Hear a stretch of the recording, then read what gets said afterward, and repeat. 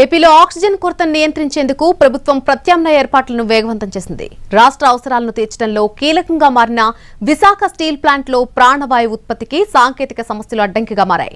ఇప్పటి వరకు ఆర్ఐఎన్ఎల్ నుంచి రోజుకు నూట డెబ్బై టన్నుల ఆక్సిజన్ వివిధ జిల్లాలకు సరఫరా అవుతుండగా ఇకపై భారీగా కోతపడనుంది. దీంతో లోటును పూడ్చుకునేందుకు యంత్రాంగం కీలక చర్యలకు ఉపక్రమించింది. కరోనా సెకండ్ వేవ్ ఉధృతికి ప్రభుత్వ ప్రైవేటు ఆసుపత్రుల్లో ప్రాణవాయువుకు డిమాండ్ అధికంగా ఉంది. ప్రస్తుతం నమోదవుతున్న కేసుల్లో అధిక శాతం మందికి ఆక్సిజన్ అందించడం అనివార్యంగా మారింది. రోజువారీ కేసులు మరింతగా పెరుగుతుండగా ప్రస్తుతం ఆసుపత్రుల్లో చికిత్స పొందుతున్న వారికి ఆక్సిజన్ అవసరం తప్పనిసరి పడుతోంది.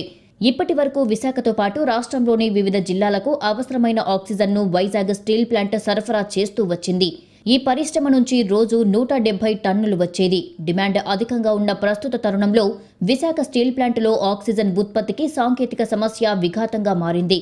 దీంతో క్రమేపీ ప్రాణవాయువు ఉత్పత్తి తగ్గుతూ వచ్చింది.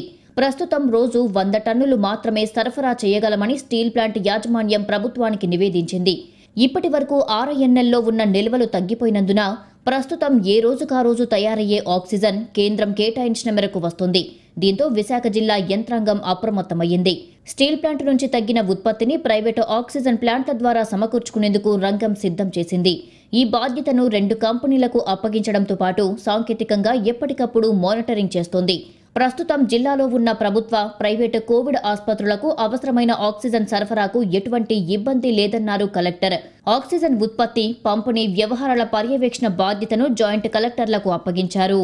ఆ ఏజెన్సీస్లో ఉన్నటువంటి వన్ ఆర్ టూ ఏజెన్సీస్కి ఏదైతే షార్ట్ ఫాల్ మనకి స్టీల్ ప్లాంట్ వల్ల వస్తుందో దాన్ని మనం ఎన్హాన్స్ చేసి ఈ టూ మ్యానుఫ్యాక్చరింగ్ ఏజెన్సీస్ నుంచి ఇది రెక్టిఫై అయ్యే వరకు కూడా వీఆర్ బయింగ్ అడిషనల్ ఆక్సిజన్ ఇప్పుడే దాని మీద సుదీర్ఘంగా సమీక్ష సమావేశం కూడా నిర్వహించడం జరిగింది.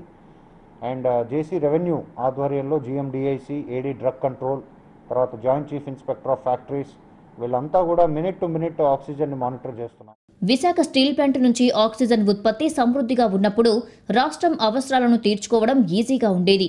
అవసరం ఉన్న చోటుకు త్వరగా ట్యాంకర్ల ద్వారా తరలిస్తున్నారు. ఇప్పుడు తగ్గే డెబ్బై టన్నుల ఆక్సిజన్ను ప్రత్యామ్నాయ మార్గాల ద్వారా పూర్తి చేసుకోవాల్సి ఉంది.